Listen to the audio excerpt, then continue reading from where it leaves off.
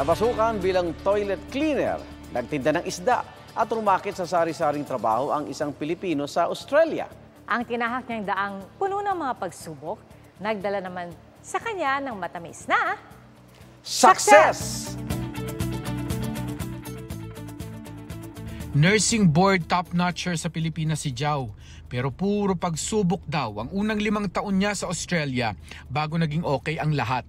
Ang hirap para sa akin makahanap ng trabaho na nursing related. So, the first job I had was as a barbecue boy. Um, I was working there for two weeks and then kasi transient, ano lang siya, transient, parang transient barbecue um, place lang siya. So, after two weeks, nawala din. And then I have to find a new job.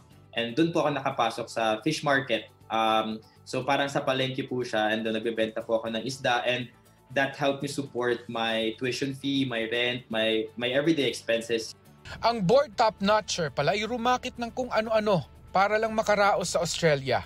Lahat po, lahat ng jobs na pasukan ko, parang sa from cleaning toilets, um, parang sa pag uh, pagkakashier, pag pag serve ng mga kape, lahat um, any jobs na pwedeng pasukan as long as marangal. Sa totoo lang po, syempre natapakan yung ego ko. Ilang beses ko pong gustong umuwi ng Pilipinas. Pakiramdam ko bakit kailangan ko ulit mag-aral, bakit ang hirap ako makahanap ng trabaho. Kasi po dapat mag-aaral din ako ng medisina sa Pilipinas. So parang kinumpara ko yung, mga, yung sarili ko dun sa mga batchmates ko na nag-aaral na pagiging doktor. Tapos ako ito, naglilinis ng toilet, nagbibenta ng isda. Minsan na rin daw na kinapos sa pagkain si Jao dahil kulang sa pera. Minsan binibigyan po ako ng um, buto ng salmon. Tapos bumibili na lang ako ng gulay tapos sinigang mix sa Asian shop. Tapos yun na po nilutuin kong sinigang. Tapos for the whole week, yun na po yung baon. Tao lang tayo, nasasaktan, napapagod. Alam ng best friend niyang si Dudeng ang tunay niyang pinagdaanan at pinost ito ni Dudeng last year.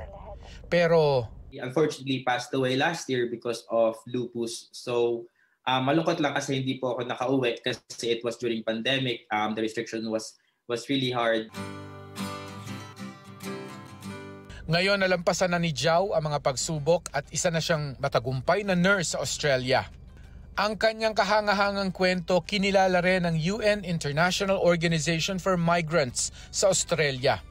Mensahe ni Jao sa mga kabataang susuong din ng maaga sa migration, huwag basta susuko kahit anumang hamon ang dumating.